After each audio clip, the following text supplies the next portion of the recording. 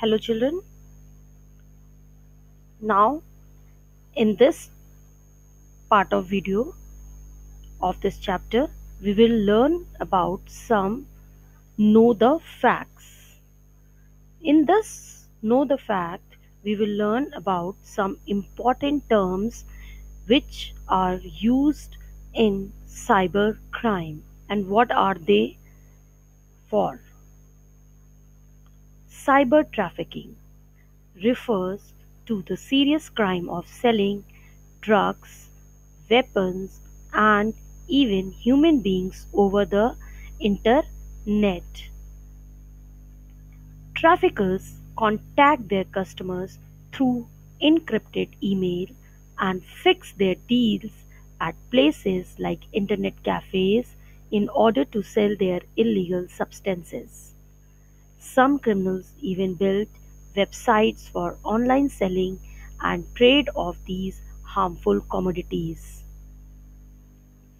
Next is vishing.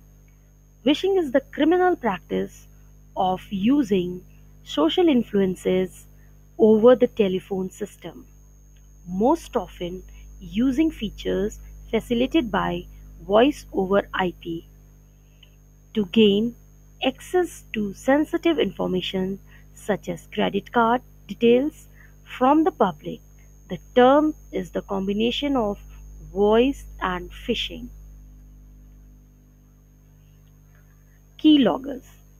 Keylogger programs are used to check users' keystrokes and get important information such as password, etc.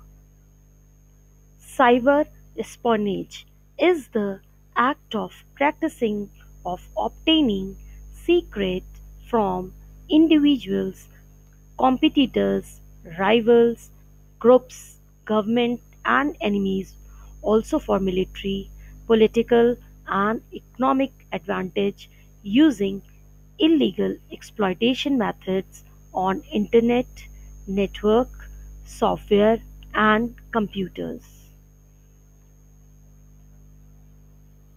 Let's know more.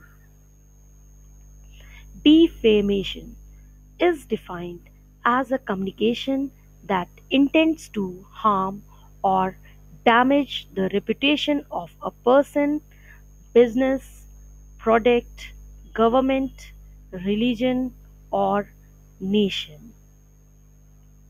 Social engineering refers to psychological manipulation of people into performing actions of divulging means disclosing confidential information.